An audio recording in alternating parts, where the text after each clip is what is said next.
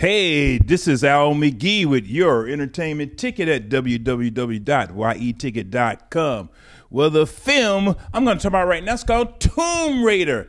Hey, this is an exciting film. You know, it's based on the video games, but also it was a movie back in the day with Academy Award winner playing the role. Now we got another Academy Award winner playing the role. And this Academy Award winner is Alicia Vikander. She's playing Laura Croft you know, at the beginning of the film, they show her, you know, how she's an independent young lady, how she likes to do different things like box. Uh, she's a bicyclist. What I mean by that is she's a messenger and she lives in the East London streets. And, you know, she's just so independent. No boyfriend, nothing like that. But she's just so independent. No one can tell her anything to do. Next, we see Kristin Scott Thomas as Anna Miller.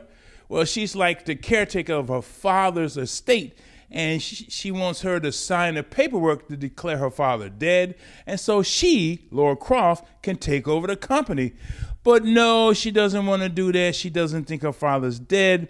She wants to have some type of hope, even though she's broke. She doesn't have money. She doesn't have anything to stand on.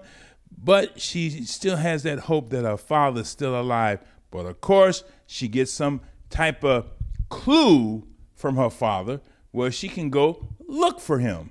And that's what she does. She goes looking for him and she lands on this island uh, with the help of Lu Ren, which is played by Daniel Wu. Now, I wish Daniel Wu had a little bit more to do. I really like this actor. I've seen him on TV a few times, and he has his own television show. But he, to me, he didn't have a lot to do.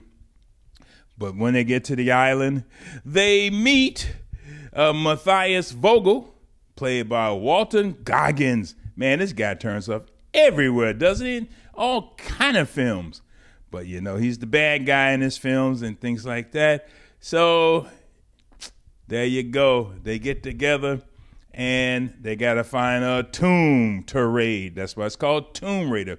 Now, some of the scenes in action is uh, based on parts of the video game. And you'll see that in the film. But I just felt the director, Raul Urtagne, well, I think he just made everything just a little bit convenient, too convenient for her to get out of danger. In other words, I didn't feel the danger when I saw that she was in danger because I knew some way she's going to get out get out of it. Now, Laura Croft is a hard-working young lady, and also you can see that uh, Alicia, she really worked hard to get into this role. But again, I just felt that the danger was not uh, that dangerous for her to get out of, and I wasn't sitting on the edge of my seat to say, "Hey, oh, look out," because everything worked out for her and you can tell she has a very athletic body. She really worked for this role in this in this uh, acting role as Laura Croft. But I just felt the film alone itself. Well, I just felt it just wasn't enough for me. Uh, yes, I enjoyed the character, and it, it, the film did entertain me, but not enough. I'm only going to give this two palm trees. I'm only going to give this an as an average film. It's nothing exceptional about it. I mean, that's in my opinion.